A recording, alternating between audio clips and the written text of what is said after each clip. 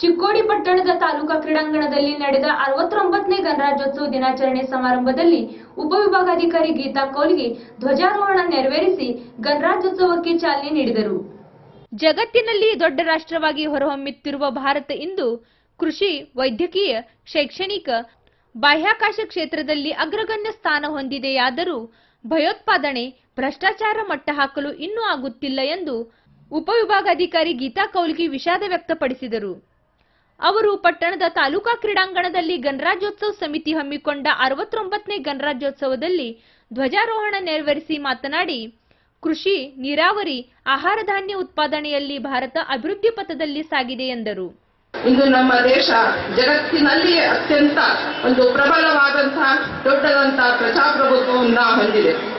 So ನಾವು ಪ್ರಜಾಪ್ರಭುತ್ವದಲ್ಲಿಯೇ ಇಟ್ಕೊಂಡು ಎಲ್ಲಾ ಕ್ಷೇತ್ರಗಳು ಅಂದರೆ ಕೃಷಿ ಆಗಿರ್ಬೋದು ತಂತ್ರಜ್ಞಾನ ಇರ್ಬೋದು ಜೈವಿಕ ತಂತ್ರಜ್ಞಾನ ಆಗಿರ್ಬೋದು, ಮಾಹಿತಿ ತಂತ್ರಜ್ಞಾನ ಇರ್ಬೋದು ಬಾಹ್ಯಾಕಾಶ ಇರ್ಬೋದು, ಪ್ರತಿಯೊಂದು ಕ್ಷೇತ್ರದಲ್ಲಿ ನಮ್ಮ ದೇಶ ಇಂದು ಮುಂಚೂಣಿಯಲ್ಲಿದೆ ಮತ್ತು ಇಷ್ಟಾಗಿ ಕೂಡ ನಮ್ಮ ಒಂದು ಸಮಾಜ ಇನ್ನು ಸಾಕಷ್ಟು ಸಮಸ್ಯೆಗಳಿಂದ ಹೊರತಾಗಿಲ್ಲ. ಸೊ ಭ್ರಷ್ಟಾಚಾರ ಆಗಿರ್ಬೋದು ಮೋಸತನ, ಬಡತನ, ನಿರುದ್ಯೋಗ, ಹೀಗೆ ಸಾಕಷ್ಟು ಭಯೋತ್ಪಾದನೆ, ಸಾಕಷ್ಟು ಸಮಸ್ಯೆಗಳು ನಮ್ಮ ದೇಶವನ್ನ, ನಮ್ಮ ಸಮಾಜವನ್ನ ಇಂದು ಕೂಡ ಕಾಣ್ತಾ ಇದೆ. ನಮ್ಮ ಎಲ್ಲ ಸಮಸ್ಯೆಗಳಿಗೆ ನಮ್ಮ ಯುವ ಜನರು ಒಂದು ಅತಿಥಿಗಳಾಗಿ ಪಾಲ್ಗೊಂಡಿದ್ದ ವಿಧಾನ ಪರಿಷತ್ ಸದಸ್ಯ ಮಹಾಂತೇಶ್ ಕೌಡಿಗಿಮಠ್ ಮಾತನಾಡಿ, ಜಗತ್ತಿನಲ್ಲಿ ದೊಡ್ಡ ಗಣತಂತ್ರ ವ್ಯವಸ್ಥೆ ಹೊಂದಿರುವ ಭಾರತವು ವಿವಿಧತೆಯಲ್ಲಿ ಏಕತೆ ಕಂಡಿದೆ. ಭಾರತ ರತ್ನ ಡಾಕ್ಟರ್ ಬಿಆರ್ ಅಂಬೇಡ್ಕರ್ ಸಂವಿಧಾನ ರಚಿಸಿ ಪ್ರತಿಯೊಬ್ಬ ಪ್ರಜೆಗೆ ವಿವಿಧ ಹಕ್ಕುಗಳನ್ನು ನೀಡಿದ್ದಾರೆ ಎಂದರು.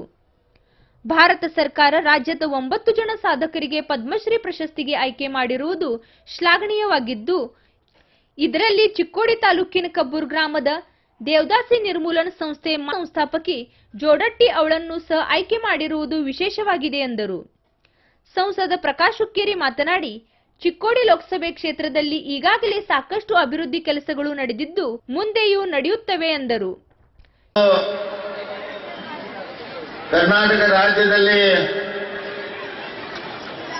ಏನು ಪದ್ಮಶ್ರೀ ಪದ್ಮ ವಿಭೂಷಣ ಪದ್ಮಶ್ರೀ ಪದ್ಮಶ್ರೀ ಪದವಿಗಳನ್ನ ಇವತ್ತು ಕೊಟ್ಟಿದಾರಲ್ಲ ಸರ್ಕಾರ, ಇವತ್ತು ಕೇಂದ್ರ ಸರ್ಕಾರ.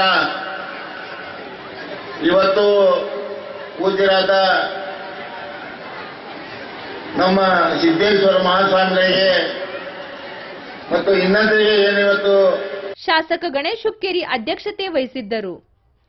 ಪೊಲೀಸ್ ಎನ್ಸಿಸಿ ಭಾರತ್ ಸೇವಾದಳ ಸೇರಿದಂತೆ ಶಾಲಾ ವಿದ್ಯಾರ್ಥಿಗಳಿಂದ ನಡೆದ ಪಥಸಂಚಲನ ಹಾಗೂ ವಿವಿಧ ಶಾಲಾ ಮಕ್ಕಳ ಸಾಂಸ್ಕೃತಿಕ ಕಾರ್ಯಕ್ರಮ ಜನಮನ ಸೆಳೆಯಿತು. Junior division NCC army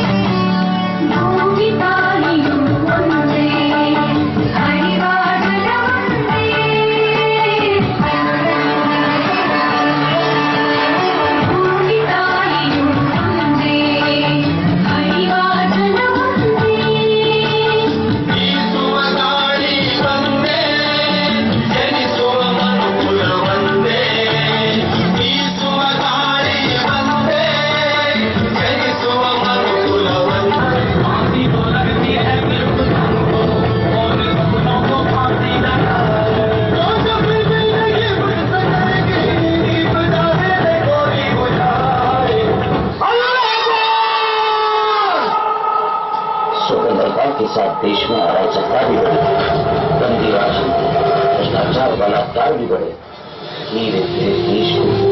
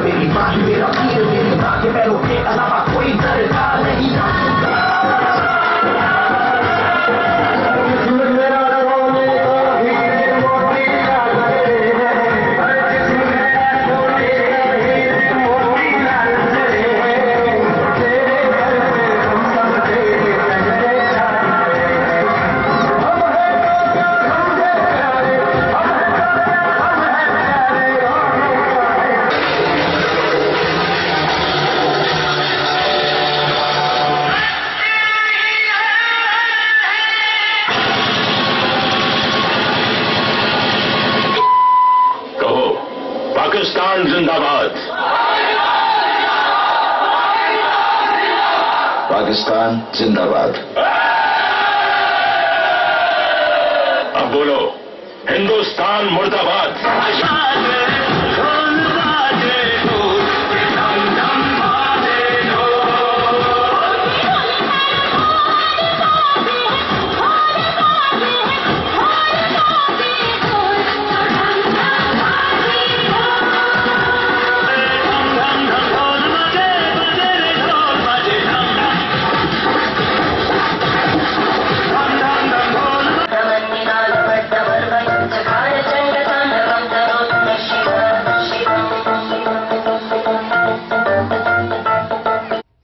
ಪುರಸಭೆ ಅಧ್ಯಕ್ಷ ಆರತಿ ಮುಂಡೆ, ತಾಲೂಕಾ ಪಂಚಾಯತ್ ಅಧ್ಯಕ್ಷ ಶ್ರೀಮತಿ ಉರುಮಿ, ಪುರಸಭೆ ಅಧ್ಯಕ್ಷ ಆರತಿ ಮುಂಡೆ, ತಾಲೂಕಾ ಪಂಚಾಯತ್ ಅಧ್ಯಕ್ಷ ಶ್ರೀಮತಿ ಉರ್ಮಿಳಾ ಪಾಟೀಲ್ ಸೇರಿದಂತೆ ಜನಪ್ರತಿನಿಧಿಗಳು, ಜಿಲ್ಲಾ ಹಾಗೂ ತಾಲೂಕಾ ಮಟ್ಟದ ಅಧಿಕಾರಿಗಳು ಇದ್ದರು.